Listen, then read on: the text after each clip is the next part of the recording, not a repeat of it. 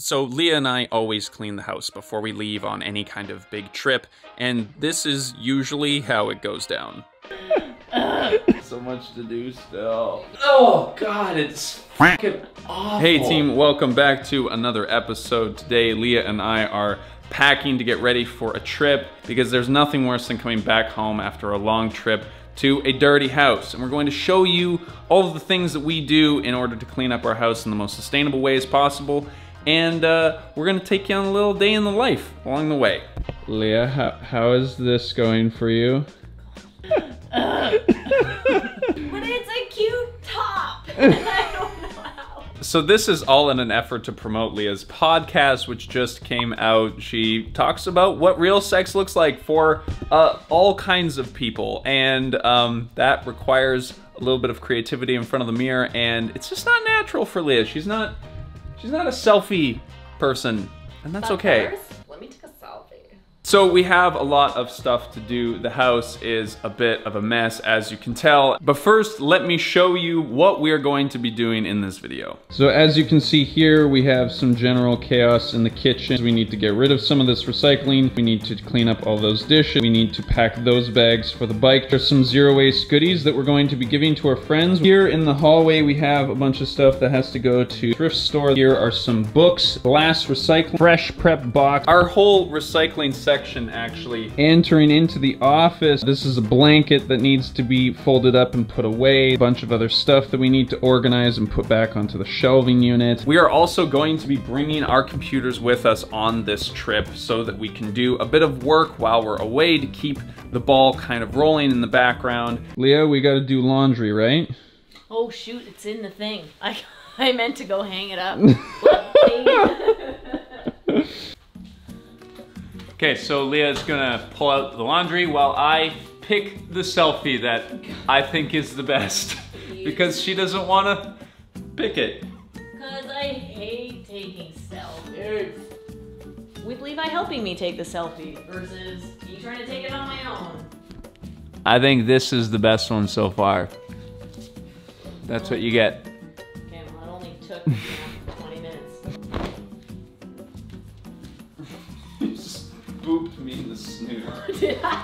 Yes. Move your snoop out of my way. All right, so we just did the laundry and we, I think we used Dropps this time around, but we've also been trying Tru Earth, which is an option available here in Canada. This is not a sponsored video. These are just the things that we use sometimes. And they smell nice. both of them work really well. We haven't really had any complaints from either of them. This is actually something that we haven't done before, but what we're going to do is we are going to put this whole rack outside in order to get it to dry faster because we need to get the sheets back on our beds so that we can leave. All right, that actually worked pretty well. If you haven't seen our minimalist closet video, uh, we talk about our laundry routine a little bit more thoroughly and why we hang dry everything instead of using the dryer. Hint, it's kind of about the planet. It's also about your money. It's also about keeping your clothes as good as long as possible. It's about the planet? Oh, it's so unlike you. I know, I know. Weird. I like to switch it up though. you might remember the last time we were here doing the dishes, I broke the glass Bodum. And uh, this is the new one. It is the Bodum branded replacement glass container. Hopefully we don't break it this time. So this is our first time having a dishwasher in our relationship and it's been really awesome, sadly. I love washing dishes, but having something that does it well and efficiently is really nice. Since we've moved in here, this has been the only form of dishwasher detergent that we have used and we haven't gone through a lot, as you can tell. This has been about three or four months of putting this on almost every single day. We got this at our local zero waste store along with our regular dish soap. We fill most of our cleaning ingredients from them and we'll get into that later in the video. So these are our cleaning materials. We have this old handmade rag from a friend of ours. This is a recycled plastic scrubby that works really, really well. And we bought this German-made scrub brush and uh, it seems to do the trick. My mom actually made this little dish out of pottery, which holds another bar of soap for cleaning our hands, and this is our dish soap. All right, the kitchen is looking very nice now. So is Leah. How's the post going? Oh, good. You know, now I'm onto stories. Hmm. this is always so scary every time. We're literally lighting us cleaning up a room. Quick. Whoa. Oh god. So this office space does become kind of a mess all the time and that's not any wrongdoing on our part. It's just the fact that we use this space a lot. Yeah. Well, it's better than how Levi used to store all of his film equipment, which was on the floor. So I'm really happy that now it's a mess, but like vertical. Now we even have an open floor space that we can. Do activities, yay! I think I can balance myself Why against are this you? wall. What is happening right? can do this? No, I don't think you should. This is a bad. idea. You're 30 years old. No, I'm not. I'm 29. Calm down.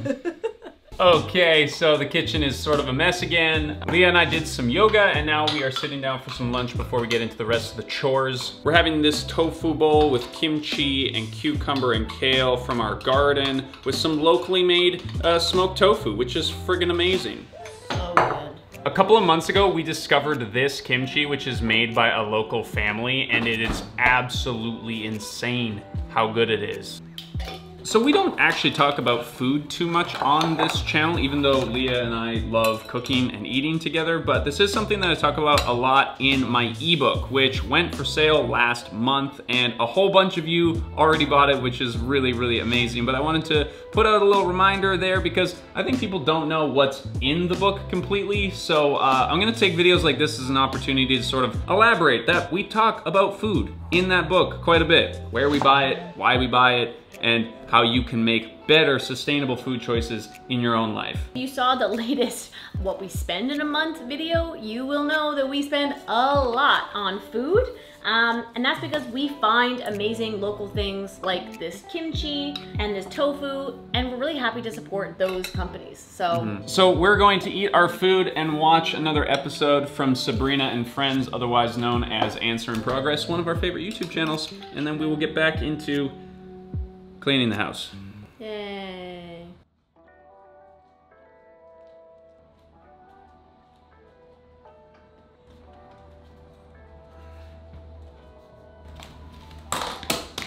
Okay, so this is my grandmother's old Electrolux 89 vacuum cleaner, uh, which we inherited when she passed away this year. Before this, we had like a tiny apartment sized one, and it was awful. It was It useless. was so I was like down on my hands and knees, like basically by hand. This thing works amazingly well. We decided to keep it because A, we needed one, and B, it's always cool to keep these older pieces of technology in circulation because why throw it out if it works? It does use bags, which is arguably less sustainable, but the real environmental impact of most vacuum cleaners is the fact that they are poorly made and you have to throw them out over and over again. Whereas a bagged vacuum cleaner will last far longer than one without bags because it doesn't have to house all of the dirt and the grit, which often makes things wear out over time. That makes sense to me. And how old is this vacuum cleaner? It was, it's from 89. It's from 89. This is old, this vacuum cleaner is older than we are. Wow. okay, so that tells you something. The amount of like plastic and metal that went into it is still being used over 30 years later.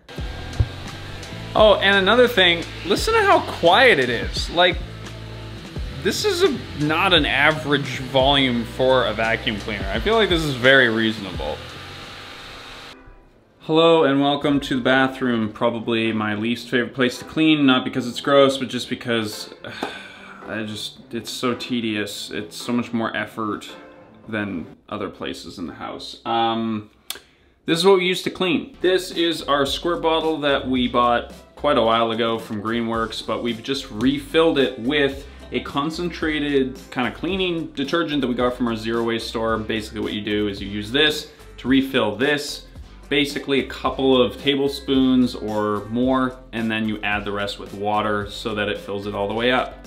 Then for scrubbing material, we have this rag for kind of like general cleaning. And then we have this kind of recycled plastic scrubby that we used in our sink previously. And now we use for bathroom and around the house cleanups that are a little bit harder to get out. And if there's something really hard to get out, we have this old toothbrush that we use as well. But honestly, we don't use it that often. Let's, uh, let's start with the sink because that seems like probably the easiest place to start.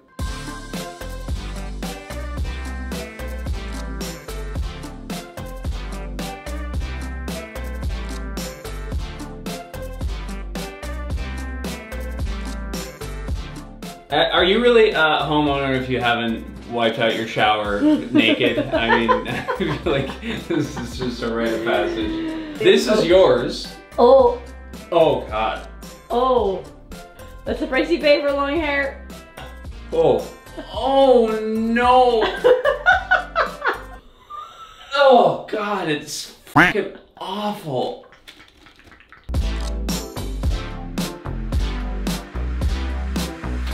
Okay. Quick nap? No. no, we need to keep going. We have so much to do still. You can do it. Ugh, ugh. I'll put it next to the olive oil jar. Okay, so Leah and I have successfully left the house. Uh, we have a big bag of soft plastic here that we're gonna try and recycle over at London Drugs, and uh, we're gonna ship off those things. And then we will hopefully be done with the outside of the house stuff. Hopefully. Pro tip for any of my fellow Canadians watching this London Drugs has a whole bunch of cool recycling options, including flexible plastics, which we do regularly. After this, we went and sent off the packages that we needed to get rid of. I then went and did the rest of the thrifting by myself, while Leah did what she called a top secret mission, which I should have been suspicious of because I found her at the mall. Oh no.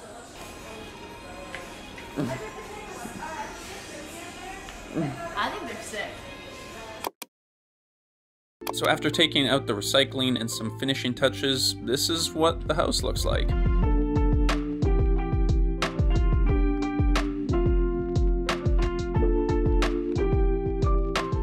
And if you are wondering what happened with Leah's little adventure, yes, Leah did buy the Tevas. I did. They're so cute, and I need some waterproof shoes. And I'm having throwbacks to when I was eight years old because these were like all the rage. So this might be uh, controversial since I think this is a Birkenstocks channel. I know, Um, but Birkenstocks are waterproof. Like, I don't know what to tell you. Yeah, and I'm, I'm curious to see how these fare because um, they are made with recycled plastic and they are a repairable shoe. Teva does have a good repair policy and they will send you new straps and new footbeds if you want to replace them. So we are planning to post a video about our trip, our bike trip to Vancouver. So if you're interested to see about how we plan a low impact, low waste trip like that, make sure that you're subscribed. Make sure that you uh, have rung that little bell and uh, maybe we'll see you next week for that video. It's also gonna be a low cost trip, so I'm excited to share our little, you know, hacks to make it more accessible so you have more money to do the things that you wanna do. All right, team, uh, thank you so much for watching today's video. And remember that if you are subscribed, then we will see you in the next one. Bye. Okay, let's put, put them on. I want to see what they actually look like. Put 'em on, beep, beep, beep. Here you go. The reveal, it's the T-Buzz. Oh, camp counselor to the next level. I was just about Right? to say. Bring your kids, have my first aid. We're gonna do fun activities. Do, do, do, do. Hold on. Okay, everyone, make sure you have your sunscreen on. And let's go check out some birds. Are these the right way?